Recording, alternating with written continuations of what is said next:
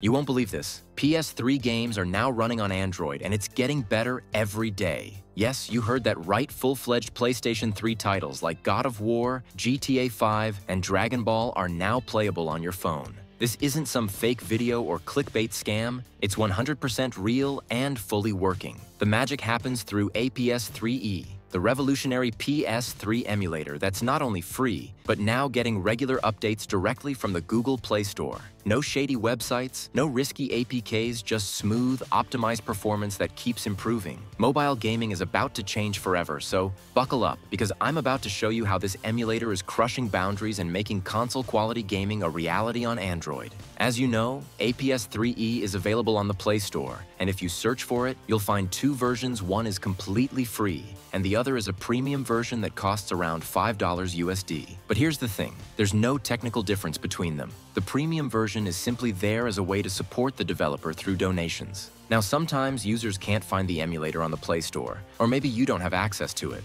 But no need to worry because it's also available on GitHub. Just head over there and download the latest release directly from the official GitHub repository. Simple, safe, and always up to date. Now let's talk about the setup process, which has also been updated. The new setup looks very similar to NetherSX2 or AetherSX2. First, the emulator gathers basic information about your device, and then it auto-configures itself for the best performance. As you know, to play PS3 games, you must install the PS3 firmware. This firmware is officially provided by Sony's PlayStation 3 website. It's open source and safe to download. So go ahead and get it from the official Sony site. Select the firmware file in the app, and then click Next. One notable thing here, it doesn't take too much time to compile the firmware like RPCSX. That's really good. Now you'll be asked to select your game directory.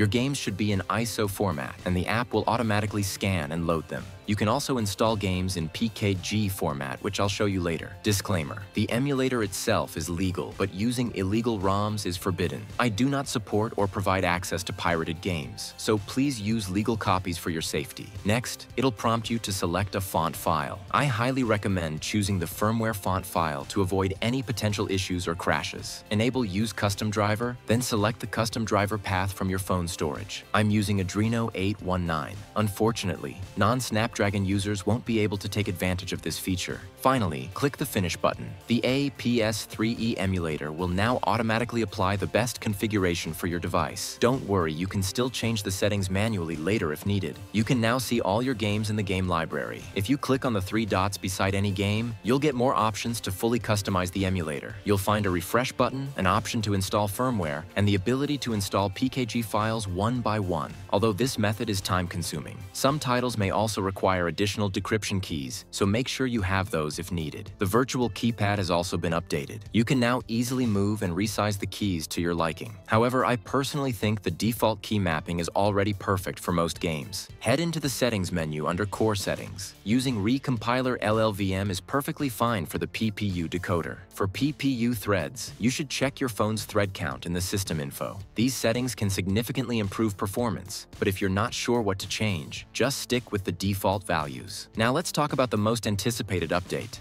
video settings. Here you can choose between OpenGL and Vulkan as your rendering API. If you've used aPS3e before, you'll notice that the options look the same, but there's a smart visual touch whenever you enable a setting, its color changes to purple. This makes it easier to identify which settings are currently active. If you're running high-end games, consider lowering the resolution to 720 by 480 for smoother gameplay. Set the aspect ratio to 16 to 9. The frame rate can go up to 120 frames per second, but I recommend keeping it on auto to maintain overall stability. Also, set shader processing to low to avoid crashes and instability, and enable both write color buffers and write depth buffers to fix graphical glitches. Enable V-Sync to eliminate screen tearing, and turn on stretch mode for full screen gameplay. Unfortunately, the resolution scale option is locked, which means you can't change it manually. Still, the current implementation is helpful for low-end devices. There are many more advanced features under the Vulkan settings section. One important is VRAM allocation, which lets you decide how much of your device's RAM should be used by the emulator.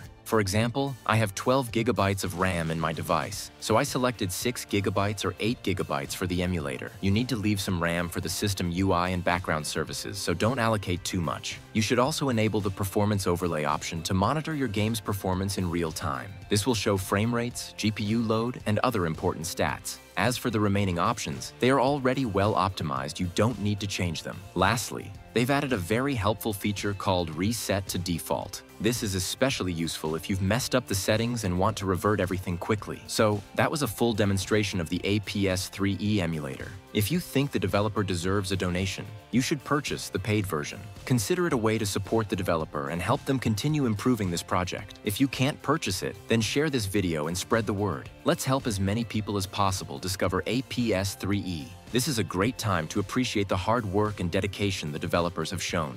Thanks for watching. Don't forget to like, comment, and subscribe for more emulator updates and gaming content.